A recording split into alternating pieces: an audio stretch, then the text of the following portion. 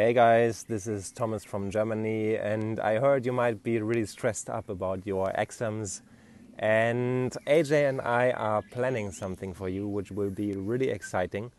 So, on Saturday 12 at 3 p.m. Indian time, we are going live for you to help you with procrastination and overwhelm, and also get rid of stress related to your study and we also do a live guided meditation that helps you relax. So you don't even need to do anything. You can just close your eyes, relax, enjoy. Uh, because I'm a mindset coach in Germany and also the creative head of Nesol India. And we are really looking forward to this. So it will be one hour, it will be live. So make sure you put it in your calendar and you join us. Um, AJ can tell you more about it.